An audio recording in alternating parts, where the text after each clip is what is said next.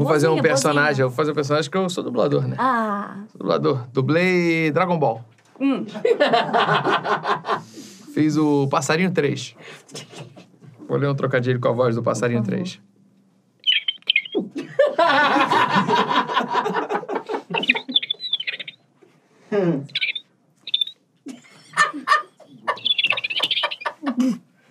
Tá rindo por quê? Não terminei? Isso foi a Eu pergunta. tô imaginando.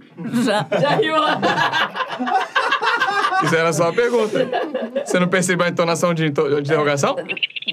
Ah. Se fosse uma exclamação, seria.